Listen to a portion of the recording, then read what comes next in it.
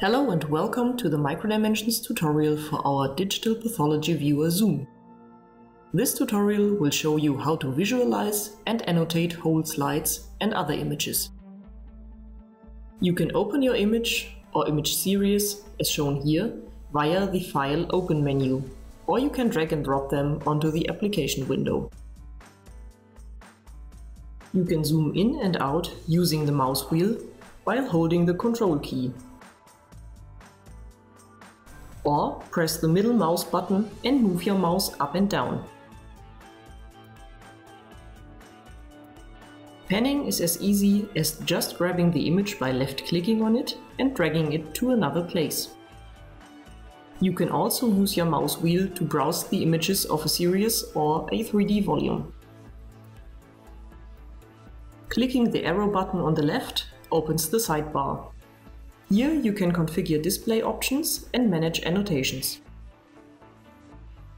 To change the image exposure parameters like gamma, minimum and maximum intensity, you can simply drag any of the gray nodes. Or you can enter new values into the input fields. You can also switch on and off individual color channels by clicking on the respective icons. If you loaded aligned image series, such as images containing different stainings, you can enable the peephole effect by clicking the flashlight icon. Select the area of interest by dragging the circle.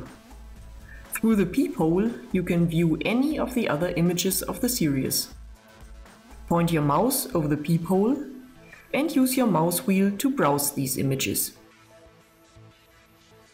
The size of the peephole can be adjusted by dragging the slider or clicking the buttons next to the slider. A great way to comment your images and share this information is to use annotations. With a few mouse clicks you can draw rectangles, ellipses, arrows, tape measures and polygons.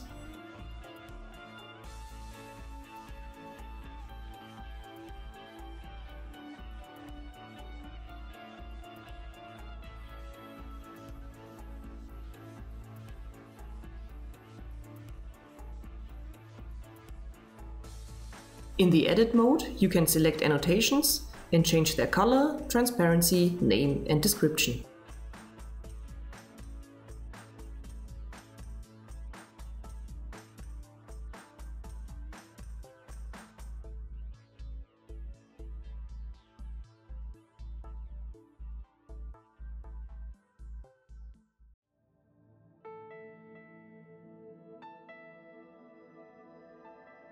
Selected annotations can also be deleted by hitting the delete key or the corresponding button.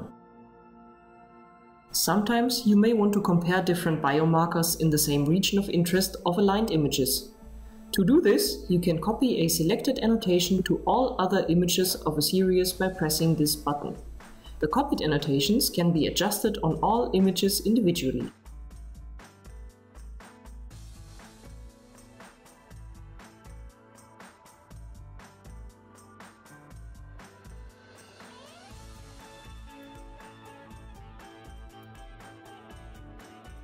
Annotations can also be imported from and exported to the ImageScope format to be read by other compatible software.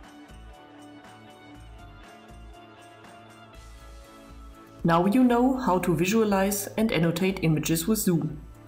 Zoom can be downloaded free of charge from our website.